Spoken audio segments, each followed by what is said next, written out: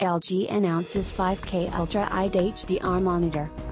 LG has just announced some impressive sounding monitors that it'll be bringing to CES in a couple of weeks.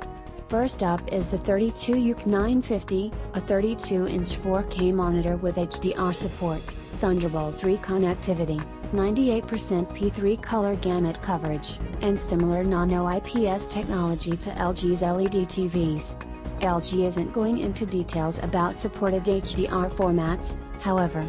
The press release mentions HDR 600, which could just be the company's own term for a monitor with 600 nits peak brightness, but may refer to the new Display HDR certification that does include a Display HDR 600 tier. If 16 to 9 isn't wide enough for you, LG is also announcing the ridiculous sounding 34WK95U, a 5K Ultrawide version of the 32UK 950.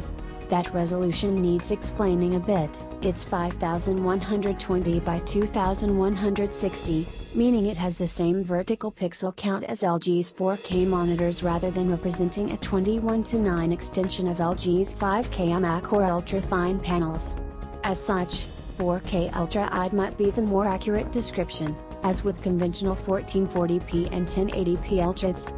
Still, 4K Ultras basically don't exist right now, so this is probably still going to be a heck of a thing to witness, and the Thunderbolt 3 connectivity is particularly nice if your laptop supports it, since you'll only need a single cable to hook up the monitor and stay charged. LG will also have a new 1440p G-Sync monitor in tow at CES.